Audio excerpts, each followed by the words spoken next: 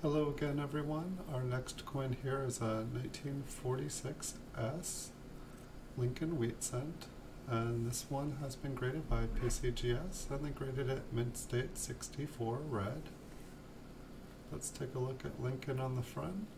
Looks like he's been running through cornfields. He's got a little slice on his forehead. Let's take a look at the reverse.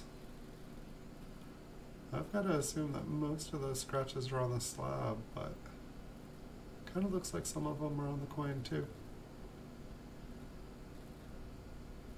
Either that or there's like kind of a wood grain finish uh, starting to appear on the coin. It's kind of hard to tell. I do see some scratches on the slab for sure, but I think there's some on the coin there too.